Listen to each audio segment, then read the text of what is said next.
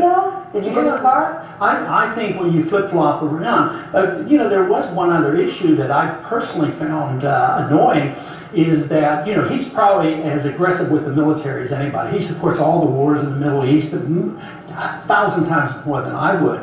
But, you know, when uh, in the 1960s, when I was drafted, you know, in the military, he got several deferments. He chose not to go. Now he'll send our kids to war. But at that time, he said that uh, one person wouldn't make a difference. He didn't know how he could make a difference. So I see that as important information. People should know that, and it reflects on him. We're, uh, we're up against a hard